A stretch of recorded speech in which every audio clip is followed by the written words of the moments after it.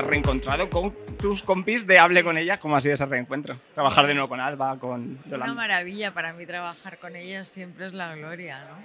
Eh, pues son mis gordas. Yo- ¿Y cómo ha sido la experiencia? Eh, ¿Te lo pensaste mucho cuando te llamaron? ¿No? Que va, que va, que va. Yo era fan ya del programa eh, de cuando se emitió en la plataforma.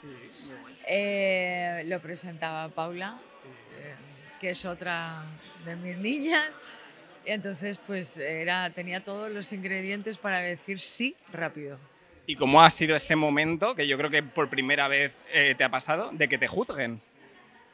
El enfrentarte al jurado. Ay, pues muy bien. Yo las críticas constructivas siempre las he encajado bien. Lo que no he encajado bien son críticas con maldad o con faltas de respeto.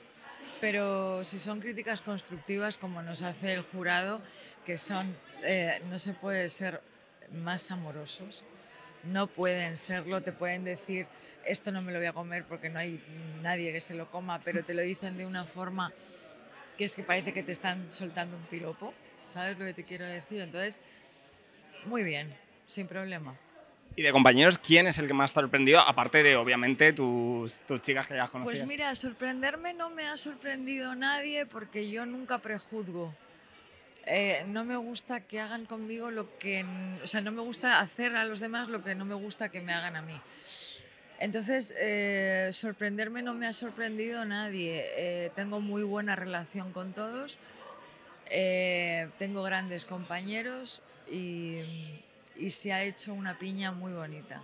Antes de, empezar en, en, en Bake Off, ¿eras de repostera? ¿Te gustaba la cocina? ¿Cuál fue la primera receta que te enseñaron o cuál es la primera que practicaste y, de- y quién te la enseñó? Pues mira, yo eh, repostera, repostera eh, lo justo y necesario, o sea, de, cosas normales, un bizcocho, unas natillas, un arroz con leche, unas galletas, alguna cosa un poco más eh, rara en una casa eh, habitual, porque tengo familia en Chipiona, mi prima Ani, eh, que han tenido un obrador de pasteles toda la vida, entonces yo me he criado también en eso, ¿no? Entonces al- alguna receta de algo que no se haga habitualmente en una casa, ¿no?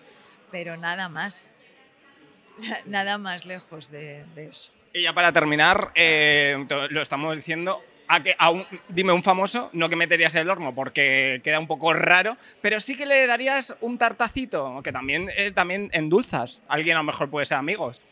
¿Algún famoso? No. ¿Qué darías? ¿Un tartacito? No me gusta eso. Yo creo que los tartacitos te los da la vida. No hace falta que te los dé nadie. Pues con eso nos quedamos. Mucha suerte, Rocío, y gracias. Gracias.